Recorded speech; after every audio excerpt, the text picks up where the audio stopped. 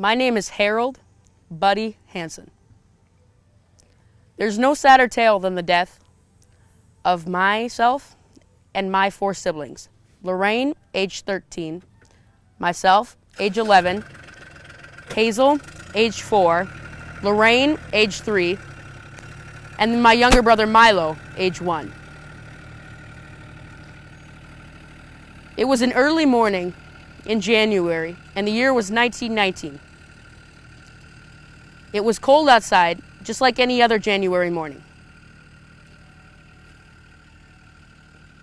That was the morning my mother snapped. She was afraid that we would all come down with influenza and we would all die. So she decided that she was going to save us from our suffering and kill us. She came into my room first and shot me twice once through the heart and once through the temple.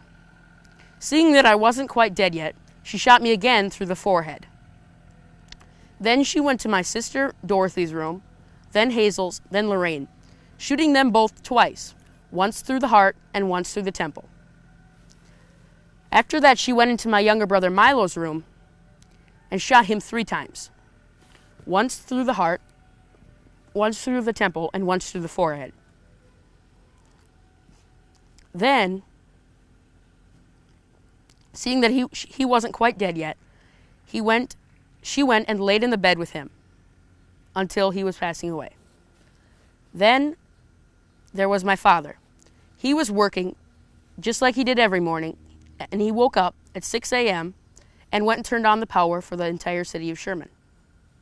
He then went and came home about 6:20, but this morning was different. He was stopped on his way home and stopped by a friend of his who had lost his daughter during the night to scarlet fever. He consoled his friend and then continued on. He w- then he was stopped again by another friend who needed help getting to Jasper for medical needs. Then he went and arranged for him to be taken to Jasper, but said that he couldn't do it himself because he needed to return home. He had no idea that what had gone on in his house. When he returned home, he walked into his youngest son Milo's room because he could hear his crying. He was greeted by his one year old son with a smile. But his son was completely drenched in blood while his mother laid with him.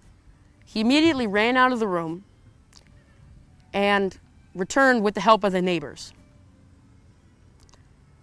Once he came back, Milo had passed away, and my mother lied in the bed in tears.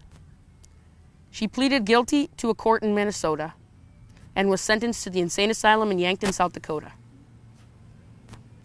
She then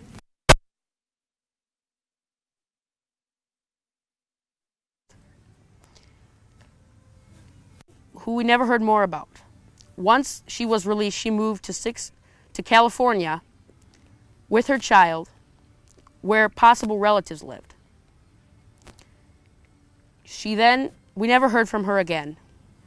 And then last year in 2011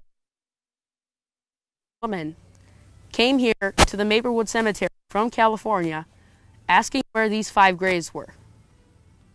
Could this be the sixth Hanson child? You decide. Thank you.